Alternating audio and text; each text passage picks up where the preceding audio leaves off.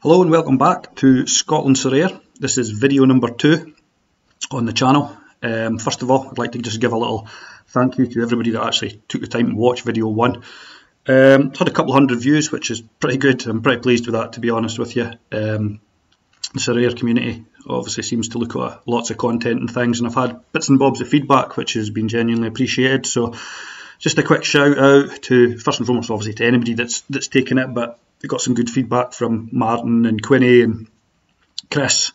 Louis, thanks very much. Uh, John Nellis, obviously, who I know from the Football Index content, uh, content that he used to make, and he's now making good content for Sorare. So, uh, really pleased, obviously, with some good sort of influential community members. So, that, that's really appreciated, and I'll obviously try and continue to make some half decent content as well.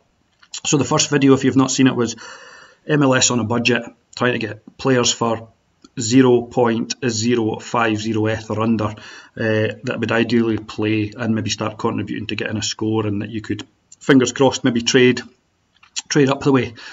This one uh, it's purely defenders. It's again on the MLS and it pretty much covers most defenders to be fair of, uh, of the rare variety.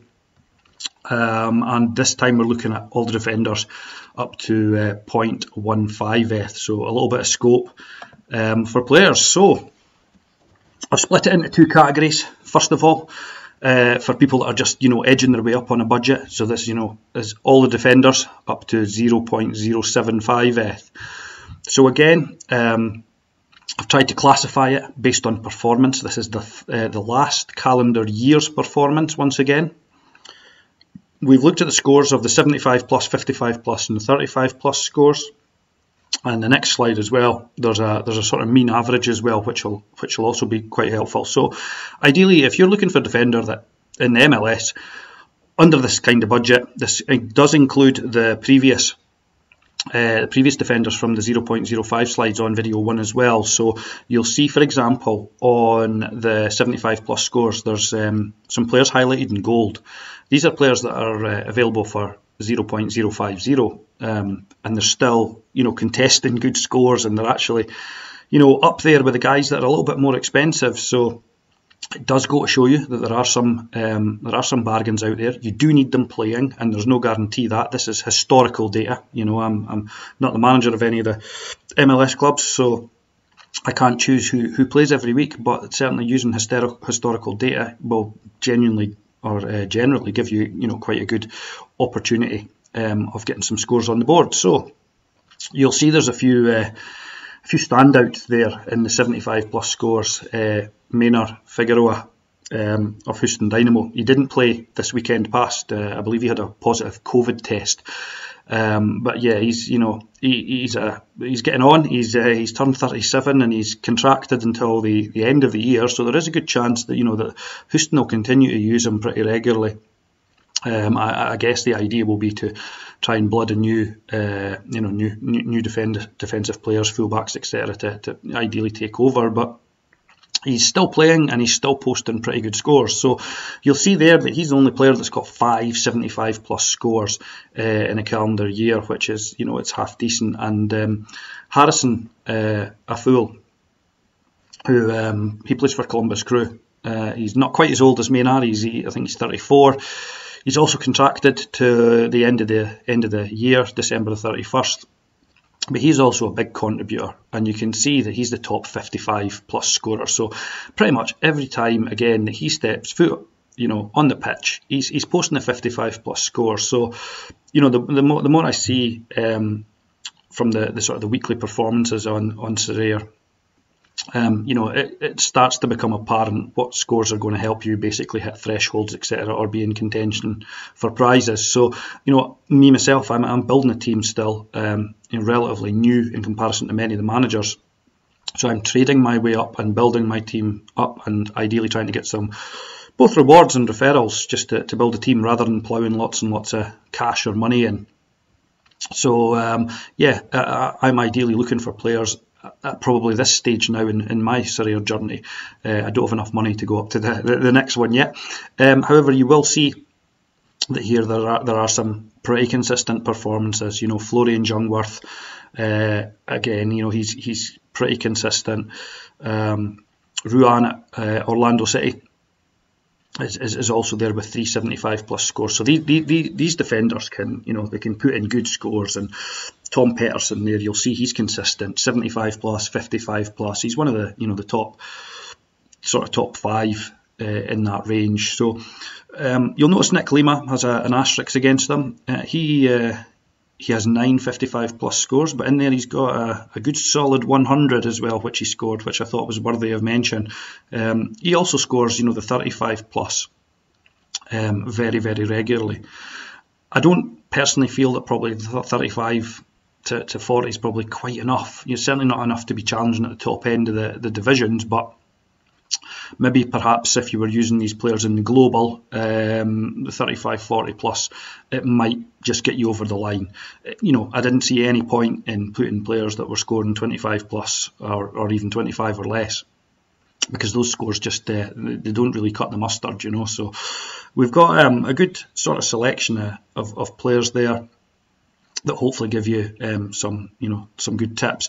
Uh, Donny Toia again, um, so you know alongside uh, Marcelo Silva at Real Salt Lake. Um, pretty consistent, and again, he's in the 55 plus. He's the only player from the under 0.05th bracket. So that gives you an idea just of some of the players um, that are that are performing. This data I'll mention as well. Um, I looked at roughly, I'm looking at 60, 65 defenders, I think it was, that all fell into this category. And this was priced on the secondary transfer market as opposed to coming out at auction. I'll go on to the next slide. Um, defenders average. So this is over the last 15 games. They're all still priced under 0.75. And the only way I can really describe this is, I suppose, is these are guys here in this slide are ranked. Um, they all have to have played 75% of the games in the 15 to make it. So there are guys that have got, you know, an average score of 72, but if you've played four games in 20, well, you know, to me, there's there's not much point really in signing these guys. Um, so these guys have played 75% of their team's games. You can see from left to right that they're ranked.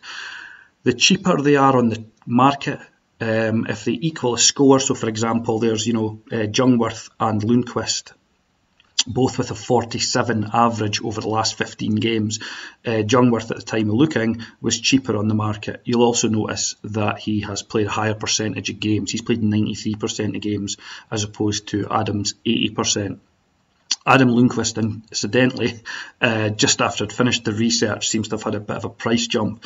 He was coming in round about the 0.075 uh, up until probably Friday there, and uh, all of a sudden he's taken a bit of a, a, bit of a jump. So you might not find that he's actually, you know, um, theoretically in this category anymore. A couple of good uh, players again in there though. You know, Frederick Brillant, the Frenchman um, at Washington, DC United, very consistent. Uh, good player in contract till the end of the season, but again he's getting on. You know he falls into that category with uh, Figueroa and Afful, where you know it's a bit risky. Could they retire? Could they move club? Could they maybe potentially uh, move out of an Opta league um, and maybe their you know their swan song season, etc.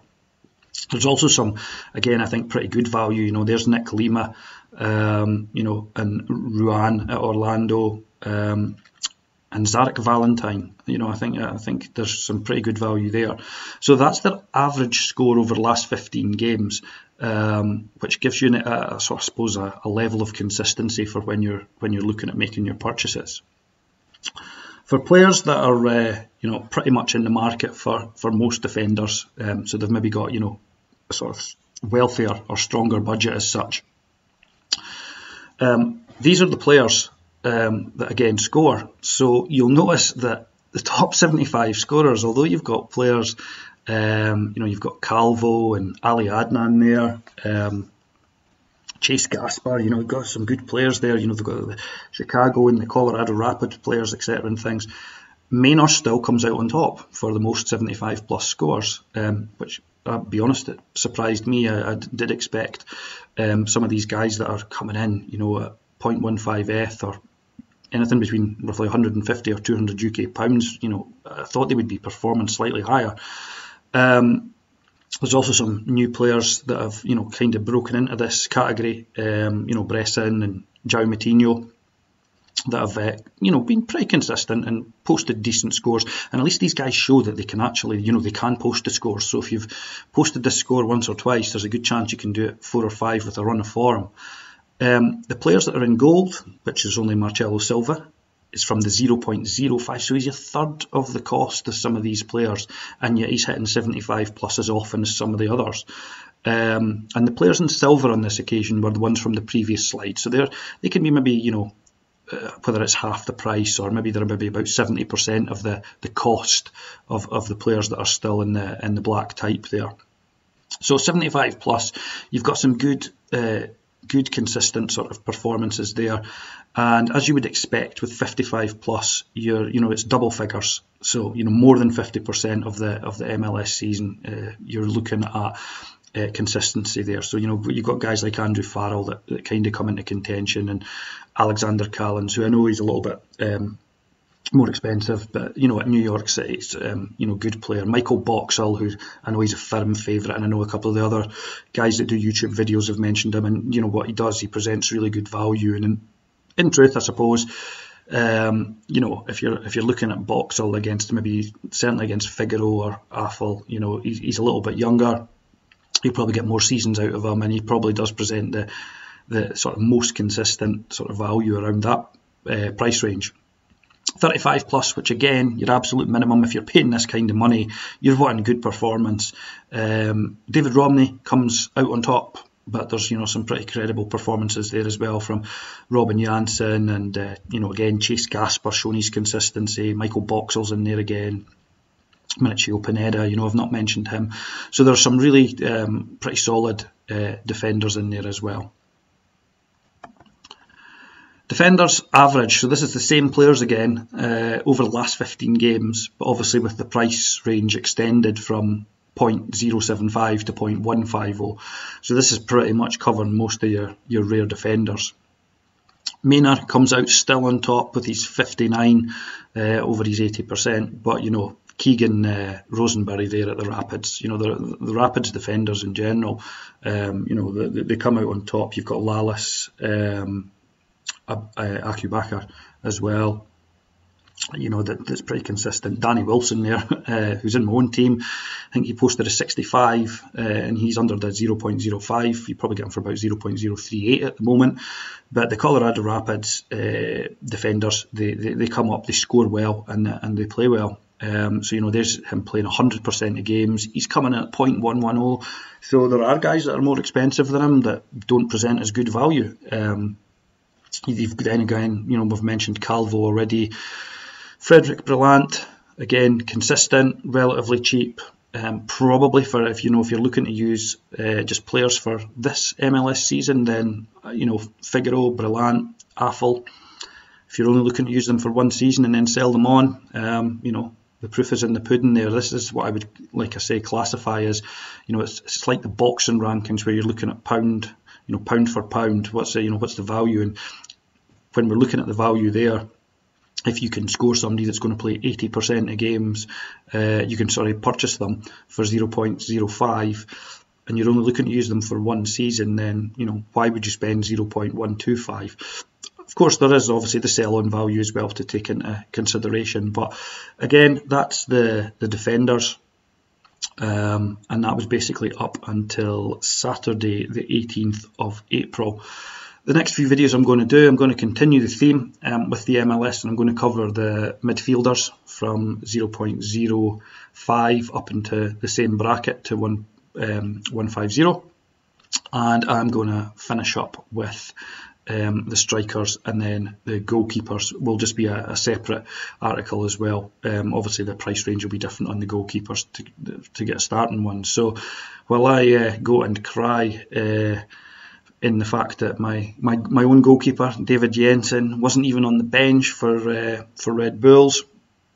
Um, I'll uh, yeah I'll leave you all to it. Thank you for watching again. Um, we've got certainly lots more content and lots more sort of statistical data um, statistics in my eyes. They, uh, they weigh more than opinion. So um, thanks very much indeed, and we'll see you all again soon.